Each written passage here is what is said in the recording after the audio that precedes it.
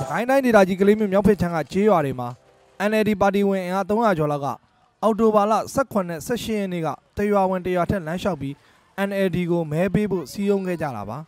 ကလေးမျိုးနဲ့မိုင်40ခန့်ကွာဝေးတဲ့စော်ဝါးရွေရှင်ကျေးရွာကနေစပြီးကလေးမျိုးအထိအလှပြရင်တွေရင်နှန်းတွေနဲ့ကျေးရွာကပြည်သူတွေကပါပါဝင်ပြီးလှုံ့ဆော်မှုတွေပြုလုပ်ခဲ့ကြတာဖြစ်ပါတယ်လှုပ်ရှားတဲ့လူတွေရဲ့ဥဆောင်တဲ့လူတွေရဲ့ စိတ်ဓာတ်မှာလည်းအားမပြော့ဘဲနဲ့ဒါမြို့ရွာတွေမှာအားလုံးကိုဒါတိန်တဆင်းအားလုံး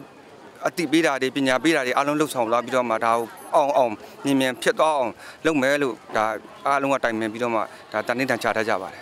မဲပေးဖို့လှုံ့ဆော်ရင်းနဲ့ရွေးကောက်ပွဲနေ့မှာမဲဘယ်လိုပေးရမယ်ဆိုတာကိုလည်းပြည်သူတွေကိုရှင်းပြခဲ့ပါတယ်။ဟောကျွန်တော်တို့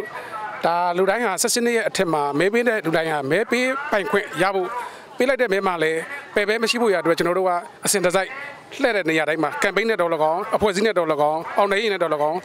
တောက်လျှောက်လုပ်ခဲ့ပါတယ်ပြည်သူတွေကလည်းနောင်တက်လာမယ့်အစိုးရနဲ့ပတ်သက်ပြီးသူတို့မျှော်လင့်ထားတာတွေကိုအခုလိုပြောပါတယ်ဒီပွားရေးနဲ့ပတ်သက်လို့ဒါအေးအေးဆေးသေးတက်တောင့်တက်တာစားရင်တော့ပါပြီ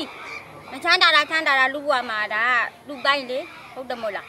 ဒါကျမတို့စီပွားရေးအေးအေးဆေးသေးလေးနဲ့ဒါဒါရောက်လို့ဒါဝယ်လို့ငိမ့်ငိမ့်လေးဆိုရင်တော်ပြီကျမတို့နေရ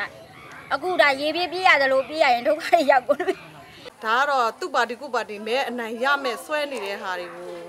ကတော့ပြောကြမှာပဲပေါ့နော်ဒါလက်တွေ့လုပ်တဲ့ပါတီကိုပဲမတို့လည်းနှစ်သက်တယ်ကြိုက်တယ်အဲ့ဒါမျိုးကလေးမျိုးမှာပါတီကြီးနှစ်ခုဖြစ်တဲ့ USDP NLD ပါတီတို့အပြင်ချင်းပါတီတွေလည်းဝင်ရောက်ရှင်ပြိုင်ကြမှာဖြစ်ပြီးကြန့်ခိုင်ဖွံ့ဖြိုးရေးပါတီကတော့မြို့ပေါ်ရက်ကွက်တွေထက်ကျေးရွာတွေကိုလိုက်လံစည်းရုံးနေပါတယ်ခင်ဗျာ